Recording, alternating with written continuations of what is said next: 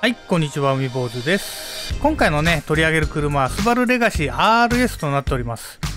まあ、こちらはね、うん、全く車に興味のない人が見ればね、ただのね、親父セダンじゃーんで済まされるような人、一台だと思います。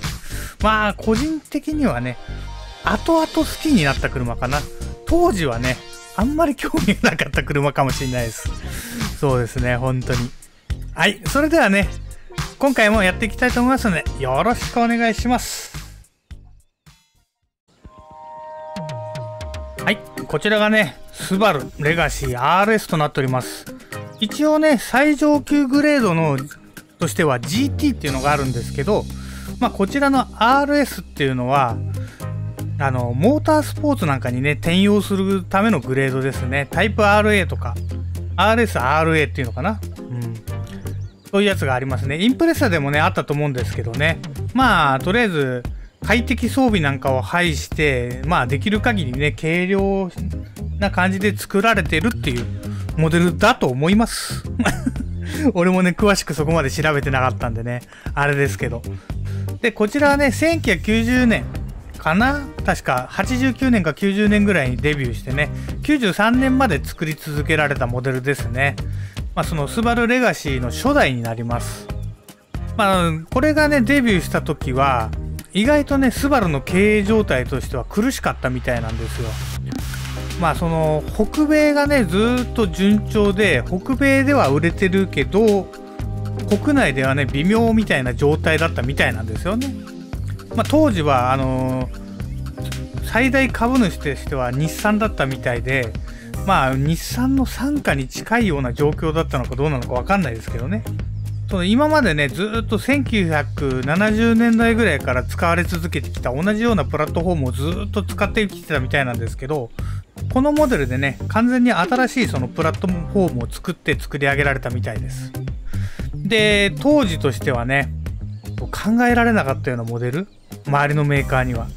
そのフルタイム4駆のハイパワーエンジンを積んだっていう感じでね、確かにハイパワーなモデルはあったはあったけど、フルタイム4駆を採用してるような乗用車がね、なかったんですよ、ハイパワーモデルで。あんまりね。まあ、とりあえずね、とりあえずそれで起死回生を狙ったみたいなんですけど、ただこのレガシーが売れたのがね、このセダンモデルよりも、どっちかっていうとね、多分ワゴンモデルのが売れたんですよね。このワゴンの方がね、唯一無二なんですよ。ハイパワー4駆のワゴンなんかなかったんですよ、当時。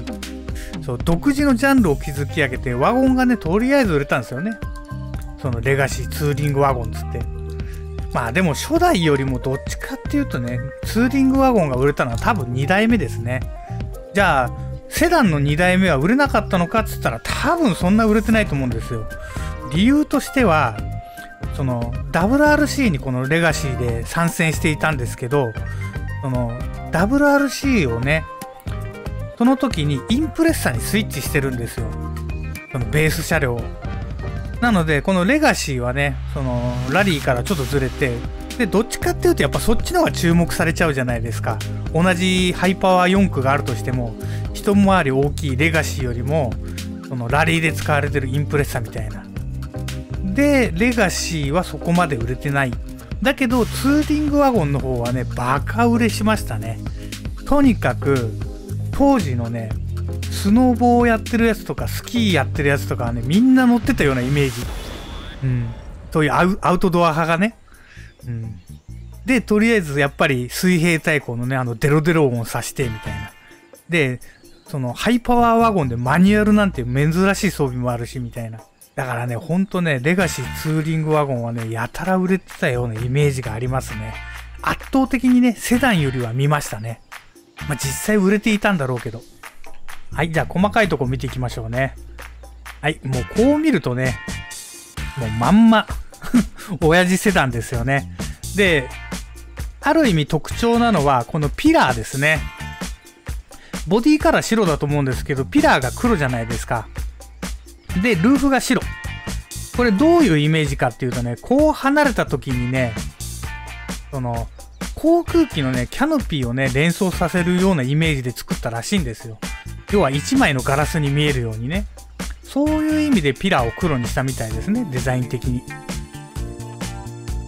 はい。後ろから見るとこんな感じですねもう至ってね普通のセダンですこう見ると だって何の予備知識もなく見たらこの車がそんな速そうな車に見えないじゃないですかスポイラーもねあの控えめなスポイラーがついてるし。当時のねセダンはねこんなスポイラーどの車にも大体ついてたんですよ。スポーツモデルじゃなくても。はい。まあスポーツワゴンっていうジャンルがまだそんな綺麗に確立されてなくてこの辺りから確立されだしたのかな多分スポーツワゴンみたいなやつが。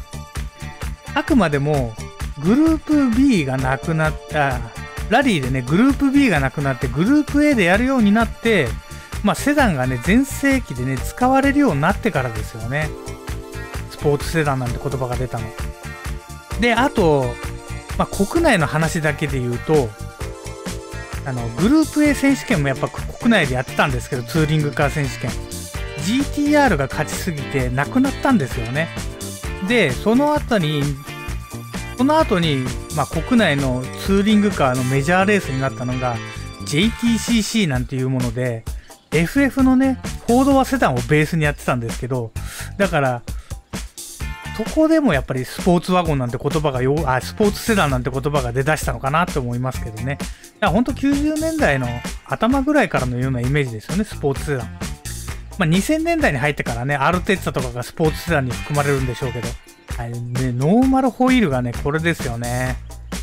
で、内装を見てみましょうね。はい、全部開けるとこんな感じですね。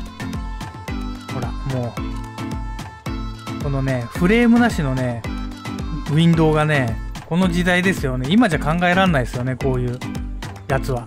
センターピラーはあるんですけどね。はい。で、これがね、インプレッサーでも使われてた EJ20 エンジンですよね。フォーカム16バルブ、ボクサーって書いてありますね。なんでね、あの、あの独特のね、不登調サウンドが登場したかっていうとね、単純にね、駅マニを通す隙間がなくなかったんで、適当にね、駅マニを繋いだらあの音になったっていう、そういう逸話があるエンジンですよね。まあ、後々にね、それはね、多分技術の進歩によって解消されてね、途中からは盗聴エンジンが、あ盗聴駅マニが使われてますけどね。はい、じゃあこちらベースにね、いじくっていきましょう。はい、まずね、車高ですけどね、まあ、ラリーで言うとね、こんぐらいの車高ですよね、オフロード。グラベルとかだったら。まあだけど、ペタペタにしときましょう。どうせターマックイベントではね、ペタンペタンで走ってたんでしょうから。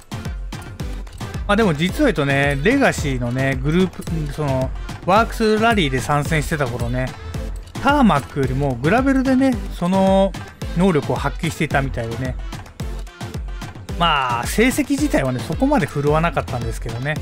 でも、グラベルラリーではね、結構なね、速さを見せる時もあったみたいです。はい、ホイールね、何が合うだろうね、この車。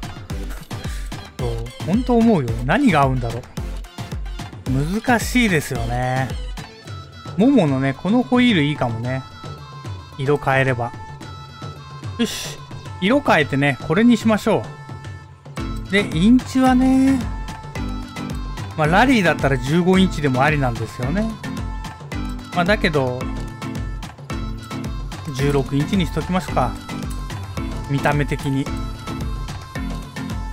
17インチでも、ありっちゃありかな。意外と車が大きいからね、そこまで、かっこ悪くはなんねえか。MR2 の場合だったらね、ちょっと車がそこまで大きくなかったんで、17インチにするとね、ホイールでけえかなって感じはあったけど、このぐらいのボディサイズだったら、17インチもありですね。で、エアロ関係ですね。見てみると、多分これ、ノーマル車なのかなわかんないけど、とりあえずこのバンパーが1種類。で、もう1種類はこれ。これはね、ホグランプなしですね、この、このデザインの。これメッキモールが入るんか。いや、結局入ってるな。これにするとメッキモールは入んないけど。まあ、とりあえずこれにしときましょうか。で、リアは、トランクピンが搭載されてますね。だから、まあ一応設定上はね、まあカーボンとかになってるのかもしれないけどね、当時で言うと FRP かもしれないけど。でも笑っちゃうのがさ、スピードは上がるけどさ、ハンドリングとかさ、加速とか軒並み下がるんですよ。なんでっていう感じ。で、レスにするとね、まあ軽くなるからか、全部上がるんですよ。その、スポイラー分ね。いや、でもこれさ、ピンつけてるんだったらさ、トランク自体も軽くなるから全部上がんじゃねえのって言いたいけど、開発者は何を考えてたんだろうね。まあいいや。これ細かいとこ考えちゃダメですよね。これは何だっつったら、俺の予想だけど多分マットガード。当たり。マットガードですね。まあ、さすがにね、やっぱラリーカーってところでしょうね。これは多分俺の予想だとさ、ライトポットがつくんだろうね。ほら。結局、見た目はね、オイールぐらいしか変わんなかったね。まあ、車の性質を考えるとこんなもんじゃないでしょうかね。はい。純正色はね、白と紺色と黒とシルバー。まあ、見事にね、当時の親父色って言われるような色をね、網羅してますよね。この紺色なんて、今時こういう色あんまりないよね。あの、スバルブルーがね、スバルのね、WR ブルーがねえじゃねえかって言うかもしんないけど、あれが登場したのがね、結局ほら、GC インプレッサの最後の頃ですからね、GC インプレッサの最初の頃もね、紺色ですからね、こう、ワークスは。鮮やかなブルーが登場したらもうちょっと後ですよ、みたいな感じですよ。だから、ちょうどね、その WR ブルーをね、再現してみますか。まあ、再現するとこんな感じなんでしょうね。で、ホイールもね、定番のゴールドにするとかね。この真鍮をね、使うとね、ゴールドホイールっぽくなるんですよね。真鍮のセミグロスを。はい。最終的にね、こんな感じですね。ほんと、色を変えただけだね。ホイールと、ホイールの色も。まあ、そうするとね、ちゃんと、90年代後半のスバルっぽくなるよね。まあでもこのボディデザインはね、うん、平成になっての車だけど、まだ昭和だよね。この角張った感じといい。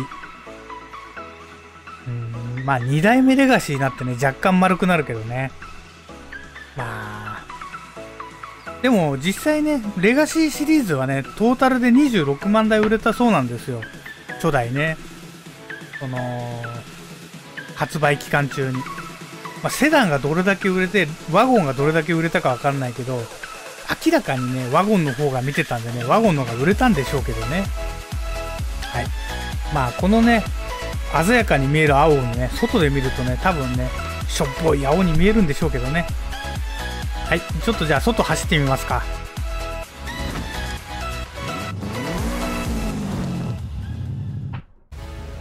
はい、雨が降ってますね。ああ、でも、ああ、でも、なんかやっぱりほら、あそこで見る青とちょっと違うよね。はい、じゃあ実際ちょっと走ってみますか。ああ、この緑のメーターがね、まあ、当時の色だなって感じますよね。あと音がね、ちゃんと不登調サウンドですね。まあ、インプレッサ系のね不登調サウンドとねまたちょっと違う若干重めの音がしてる感じはしなくもないけどまあちゃんとそこはね分けてきたのかなって感じですよね音を若干おお滑る滑る。ちゃんとねウエット路面になってますね。はい。ってことでねとりあえずね今回はね以上になります。次回はね多分今週末、まあ、これアップする頃にはもう出てるかもしんないけど、三菱のね、ギャランがね、アップされてると思うんでね、次はその多分ギャランになると思います。それでは今回は以上になります。最後までご視聴ありがとうございました。